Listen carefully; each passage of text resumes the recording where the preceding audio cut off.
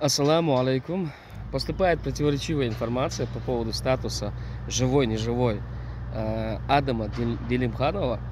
Это депутат Госдумы Российской Федерации и приближенный, самый, можно сказать, приближенный человек э, Рамзана Кадырова, который э, фигурирует во многих делах по убийствам, запугиванию и третье, десятое. Вот. Я не, я, не, я не смогу найти человека э, из чеченской национальности, а сегодня из украинской, как бы среды, э, который бы не обрадовался новостью о ликвидации данного персонажа, выражаясь языком Пригожина.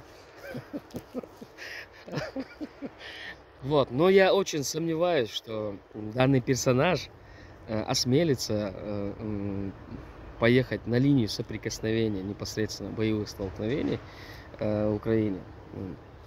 Человек отличается такой непримиримой трусостью, лживостью, изворотливостью.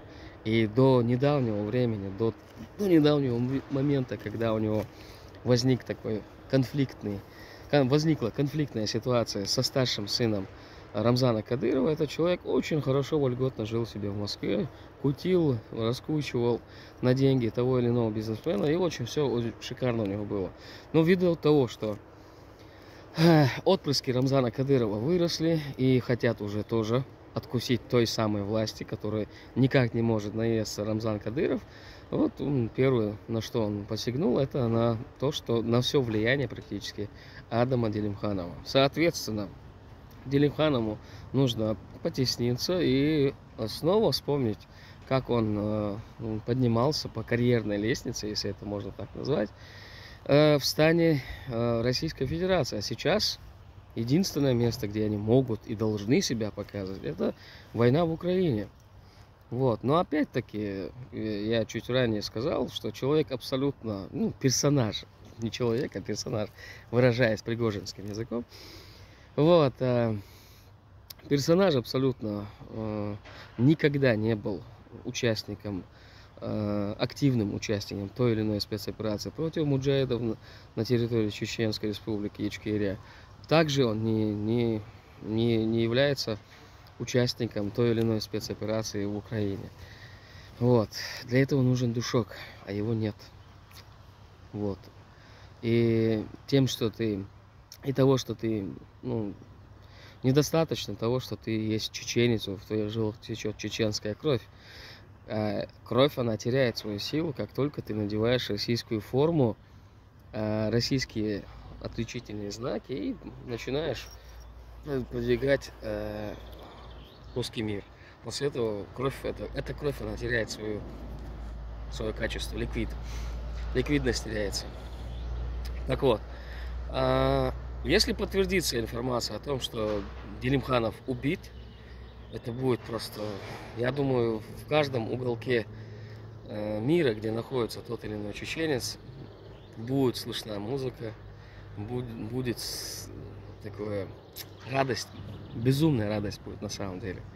Вот, потому что на протяжении долгого-долгого времени, еще до начала войны в Украине, до, до того, как эти персонажи обозначили себя как россиянами, ну, имеется в виду на украинской войне, эти люди долгое время терроризировали и терроризируют чеченский народ. Все, что у них есть, до последней пуговицы, можно сказать, до последнего, там, не знаю, гвоздя в их доме, это все нажито на крови чеченского народа. И рано или поздно, э, как клубок шерсти, который образовался э, в гортане у кошки, его нужно выплюнуть, выхаркать. И вот сейчас я надеюсь, что этот момент настал, и, один из приближенных э, Рамзана Кадырова э, с кровью выхаркнет этот клубок и просто испустит свой дух. Вот единственный дух, который у него есть, который нужно испустить. Вот. А, вот, и больше, я не думаю, что больше есть что-то. Давай будем ждать. Подтвердится информация, не подтвердится, будем ждать. Напомню, что у Адам Делимханов с недавнего времени потерял практически все свое влияние, которое у него было на территории Москвы, это все перешло в ведомство теперь подросшего старшего сына Рамзана Кадырова. Теперь он всем этим заправляет. Ну, посмотрим, к чему все это приведет. Логический конец всему этому, э, всей этой вакханалии уже виден. И сейчас, э, благодаря украинским силам, украинским военным спецслужбам, этот конец он приближается еще быстрее. Все будет Ичкерия, все будет Украина.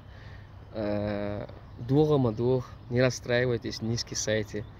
Все только начинается. И если мы выжили в этом э, аду, в этом хаосе, то значит Всевышний определил так, что мы, возможно, мы увидим конец краху, краху всему,